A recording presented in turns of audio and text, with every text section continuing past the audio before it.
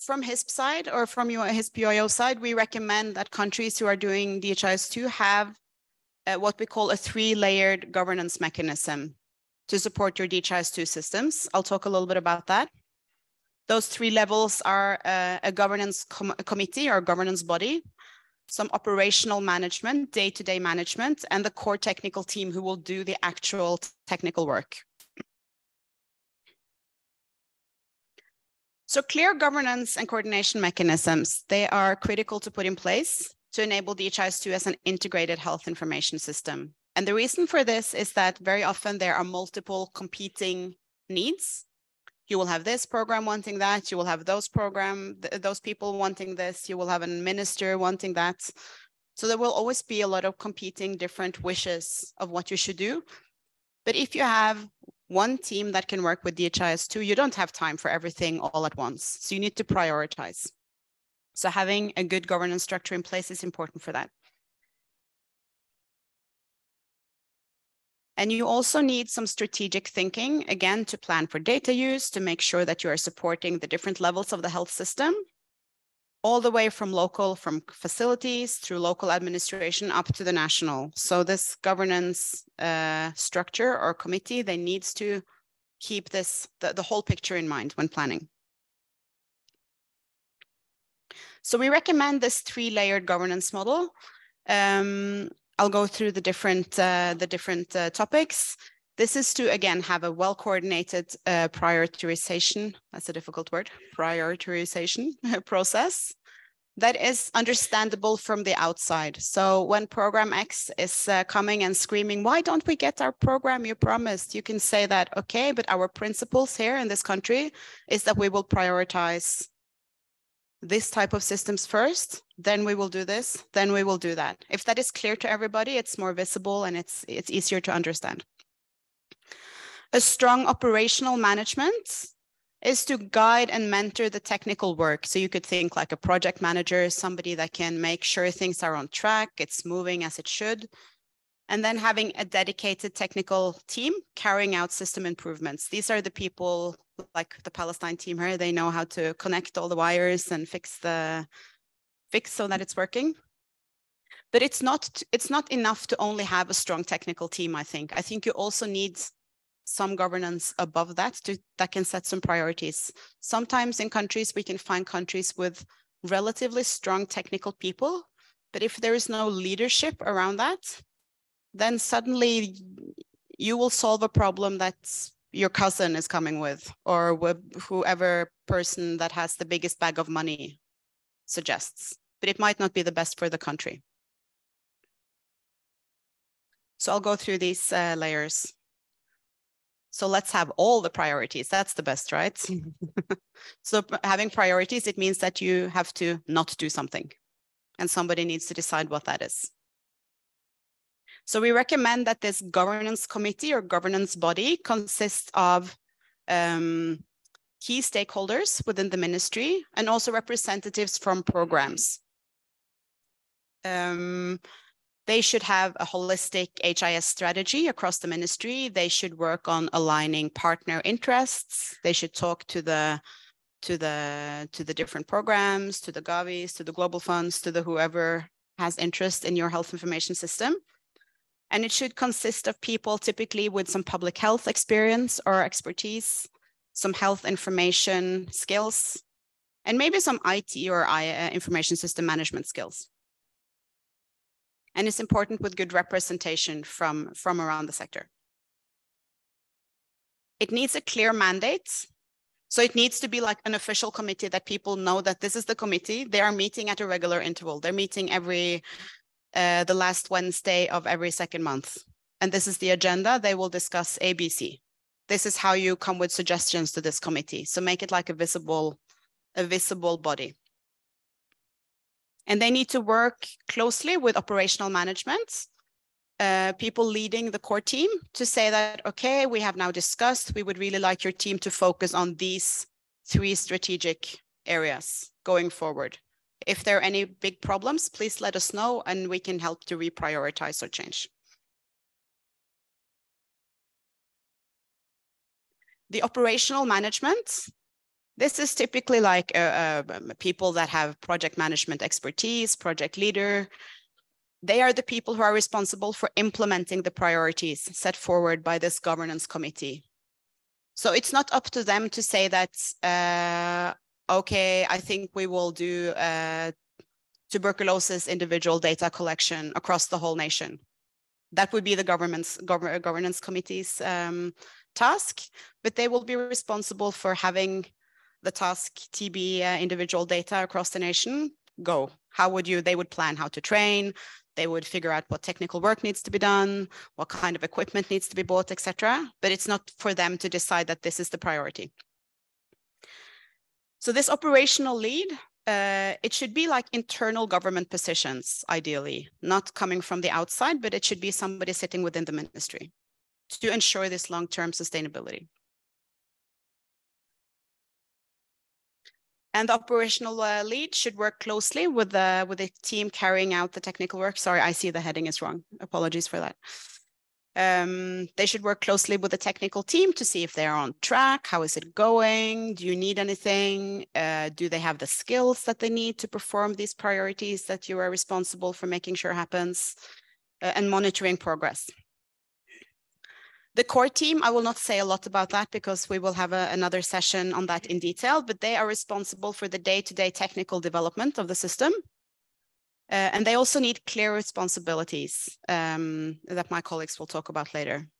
Typically, we say like around four to six people in a DHIS2 team is ideal if you can have that. Uh, and they need to be continuously trained, have a capacity building plan and be invested in. And importantly, get paid.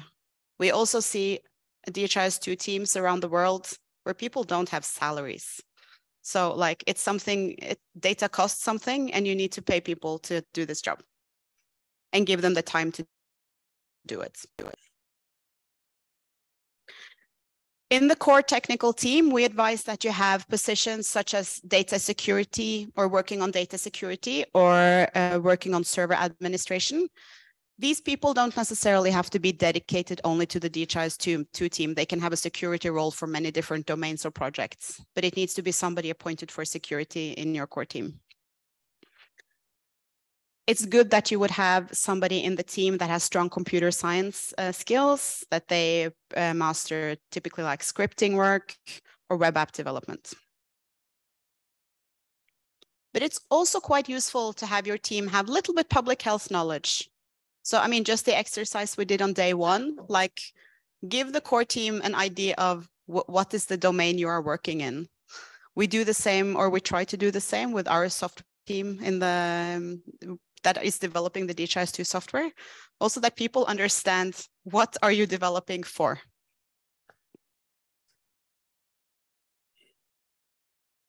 So this core team, they can be external or internal to the ministry. It's not critical that the core team is sitting within the ministry. It's preferable, uh, but it's important again that this sort of project management roles and governance roles are located in the ministry.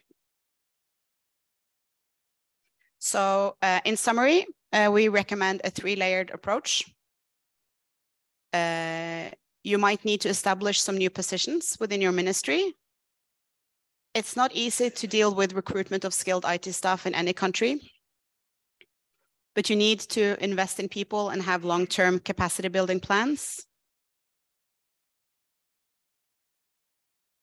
And there are some guiding sort of principles and frameworks that you can use to manage your project or manage your team. If you can go back to your Menti thing now, there is uh, a two Menti questions in the end. It's the same code as before. So now I want to I want you to think about your own countries, where you come from. So if you have a new data set or set of data to be collected from health facilities in your country, who will make the decision whether that data set can be introduced?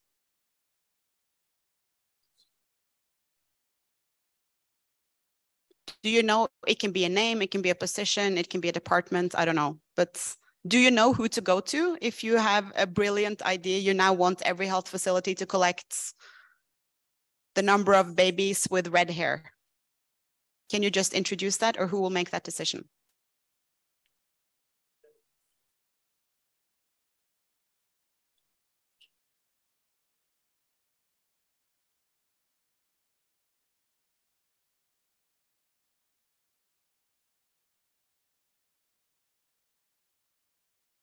To whom do you send that email with your good idea?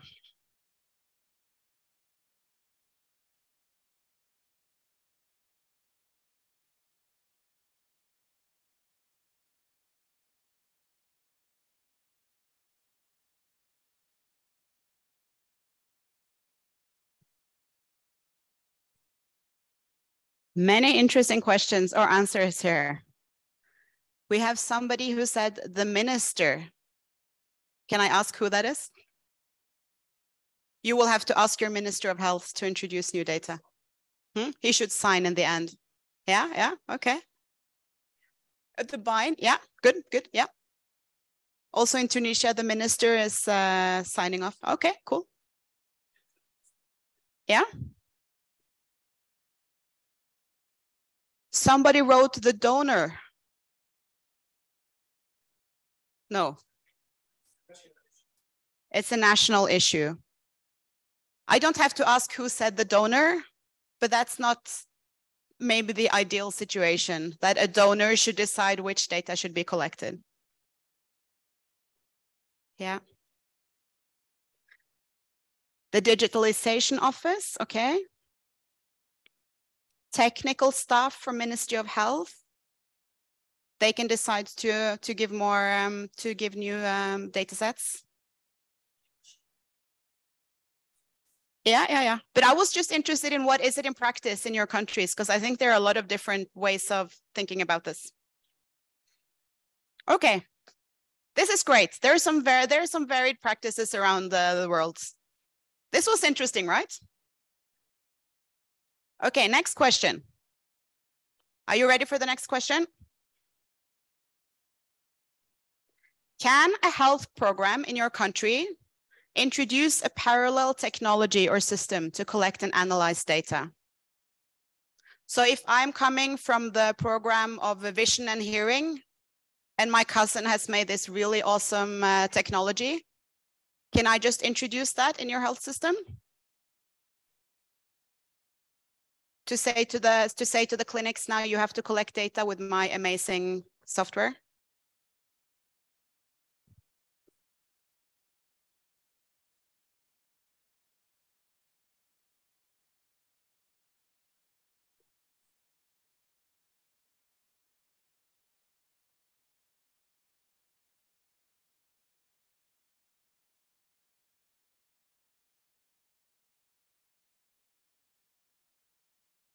This is really interesting. It's the reality, yeah? It's the reality. Isn't this really interesting? So the majority of people answering here, they say that if I'm in charge of the program for vision and hearing and my cousin has made this really nice uh, shiny blinking software, I can just go to all the clinics and say, you have to use this it's not ideal, but it's a reality. Eh? so if you have a good governance committee on top that can set some strategy and say, in my country, these are the principles by which we introduce new software to health workers, that is good. It's not always the reality, but it's it's beneficial. Mm. And you could say that it, it, it, would be good for if you're a health worker um, you can just imagine if you are a very pressured health worker and you have 20 different softwares that you have to use every week to report your data, it's maybe not ideal. If you have, I mean, now I'm selling DHIS2 because it's a DHIS2 academy, but if you have one software that you learn, you know how to use it, and then all the different programs, ideally, use the same, then you're health worker. You have to train them on one software. You don't have to train them on 20 different software because just collecting the data is challenging enough and tallying is challenging enough. Yeah. Uh, maybe it's worth from the countries to perform what is called uh, build or buy analysis. So they have to decide if that this is really the technology that they needed. Yeah. Uh, and this is depend only, not depend only on the technology, uh, rather than the maintenance, the support, etc. So yeah. Uh, build or buy analysis. This is an exercise yeah. that should be conducted before Build or buy, yeah. uh, DHIS2 or other uh, software. Yeah, that's a good point. Uh, so one thing this governance committee can should keep in mind is what kind of skills do we have in our government to maintain all these systems? So if the policy is that each program can introduce whatever they want, then you need to make sure that you have the skills in-house or you know where to buy that competence to maintain the system not only today and tomorrow, but maybe also in five years. So that's part of the govern the governance committee's task to have a clear idea about that. Yes, Yeah. Um, so this is where the uh, bigger challenge comes in. sorry, where the, can you come Okay. closer? Yeah, much as I understand that um, uh, government having a clear policy direction Yeah. is the most ideal situation. But uh, I just wanted to give uh, a different perspective with regards to um, a program being responsible for introducing uh, systems. Mm. So I was saying this is where there is a, a bigger uh, challenge, especially for Malawi. Um, you know, introduction of uh, these systems most of the times are driven by the needs from the programs. Mm. And this is where donor funding is also being channeled. So you'll find that in most cases, programs, okay, they will look, they will look at whatever they are doing and then they identify the need. And uh, then they reach out to donors to say, we need support. We need these services to be digitalized. And then probably the donor says, okay, I think learning from other countries, they are implementing uh, system XYZ, which can address this uh, challenge. Mm. And then you find that, um, you know, they go ahead to develop concept and then later on they would want to implement that. And then uh, when Malawi was trying to streamline these processes in terms of introduction of these systems, there was a very big debate whereby the digital health said, okay, you can discuss whatever you want, but uh, at least involve us so that we also provide the technical support for the introduction of that system. Yeah. However, eventually you find that the digital health take the lead in the implementation of that system, leaving the programs. So that's where we are facing a lot of challenges because you you find that in most cases, even the demand that okay, we need uh, this so much package, we would want this to be channeled through our, our structures so that they can also support towards the development and the like. Mm. So yeah, we we are in a, a trigger situation whereby internal ministry departments or programs are fighting towards the funding because that's what they are looking forward to. Uh, each each department uh, considering what that fund would do, or uh, yeah, what fund what that funding would do in regards to the needs that are on their table. So it's a it's a it's a hard way. It's a Yeah, hard yeah, way. I'm not saying it's easy. Yeah. Yeah. So it's of course a little bit of an ideal situation that it might not be super realistic, but like to work towards something looking like this, where you don't have, where it's not up to anyone like Crazy Town to introduce things left and right that you cannot maintain. I think there might be one last question that many of you have uh, answered already. Yeah. So if the technical team working on health information systems in your country, they have too much to do, who prioritizes their work? Do you understand the question? So if your IT team working on health uh, systems in your ministry are overwhelmed, they have too many tasks on their table, who will say, okay, you can leave this, rather work on this?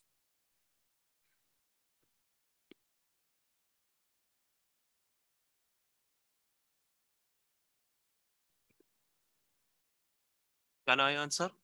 Yes, sure. I, I believe the product owner, which is uh, Ministry of Health. Yeah. Uh, is the best uh, uh, uh, one can answer, which uh, is the top uh, priority prioritize uh, items from the list. Yeah. So there is no clear answer here, I think, but it should be maybe a combination of the team, uh, the team lead and a higher up committee. So of course, if it's just like, oh, this task is stressing me, this is stressing me, I have a bit too much to do. Of course, internally in the technical team, you would solve it. But if you really see that we cannot both do the TB tracker and the immunization tracker at once, then it's up to the governance layer to say, okay, we will wait with immunization tracker. We will focus on this first. Yeah. Thank you. Okay. Uh, yeah, last comment before tea. Uh, last comment. It depends on uh, also on the uh, communication line between the team and Yeah. from where they got the uh, points or the request. Yeah. Sometimes they are working with several uh, departments. Mm. So it, it should be clear, the communication line and the, T, the IT team working with several units should be organized well in this issue. Okay, I think I will stop here and thank you all for very good inputs and uh, good Menti participation. And now we have tea. And the next session, I believe, is uh, capacity building. So how to help train your core team and your end users on DHIS2. Thank you.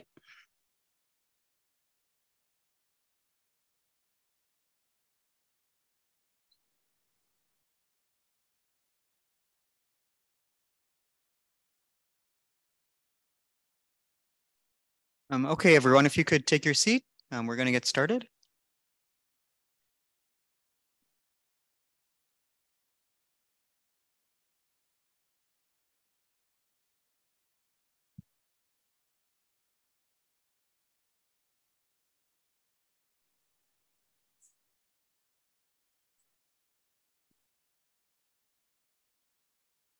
Mohammed, we're going to get started.